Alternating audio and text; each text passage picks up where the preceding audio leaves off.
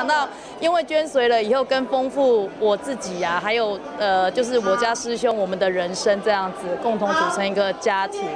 因为参加捐骨髓的活动，巧玲认识了先生，生了两个可爱的小宝贝，缘分的巧妙难以解释。还在念书的时候。那个同学找我过去参加验血活动了，很久了。那时候离我那个捐的时候是大概十三年的时间了。隔了十三年，配对成功，也遇到了另一半。他们一家人现在更是大力推广捐骨髓的活动。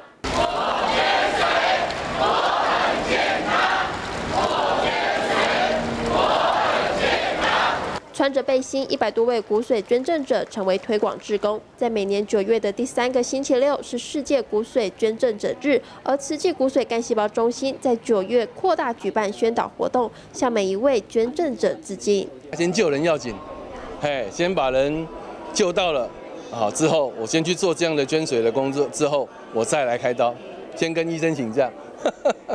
宁愿将骨刺手术延后，也要先救人。慈济骨髓干细胞中心成立将近二十三年，已经完成四千四百多例的骨髓捐赠。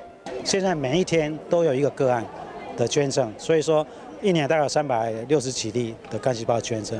那这个台湾这个捐者，那以我们人口来说是密度是蛮高的。那我们更希望的是社会大众可以更清楚的知道骨髓干细胞捐赠的意义是什么。